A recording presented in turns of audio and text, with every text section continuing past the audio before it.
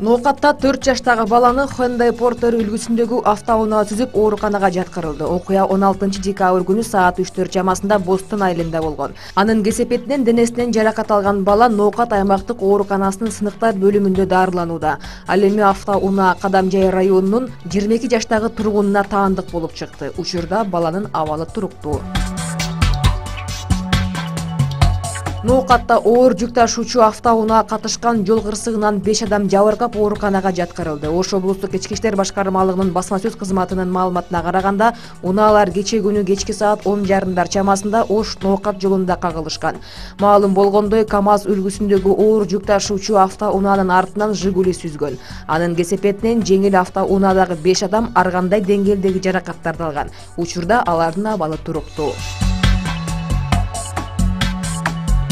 кыргызстандын мамлекеттик гимни кабыл алынганына жыйырма беш жыл толду. Өлкөнүн ураан ыры бир миң тогуз жүз токсон экинчи жылдын он сегизинчи декабрында жогорку кеңеште бекитилген. Ырдын сөзүн жалил садыков менен шабданалы кулуев жазган. Обону калыймолду басанов менен насыр давлесовдуку гимндин алгачкы варианты үч куплет бир кайрмадан турат. Бирок эки миң он үчүнчү жылы улуттук символиканы өзгөртүү боюнча түзүлгөн депутаттык комиссия гимндин экинчи куплетиндеги бейкуттук жана досторуна даяр дилин берүүгө деген маани талаштуу сөздөрдөн улам аны алып салууну чечишкен.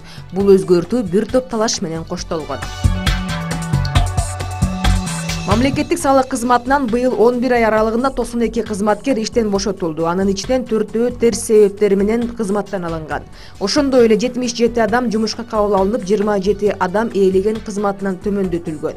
Бул туурасында мамлекеттик салык кызматынын басма сөз кызматы билдирет. Маалымат боюнча жыл башынан бери салык кызматына ишке орношуу үчүн өткөрүлгөн сынактарга бир миң жети жүз адам катышкан. Алардын арасынан конкурстардын жыйынтыгы боюнча дайындоого жүз төрт адам сунушталган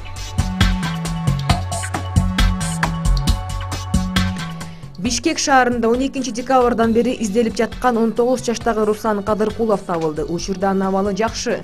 Анын эжеси таалайгүлдүн айтымында үйүнөн чыккан бойдон кайтып барган эмес. Иниси алты күндөн бери интернет клубда болгондугун кошумчалаган.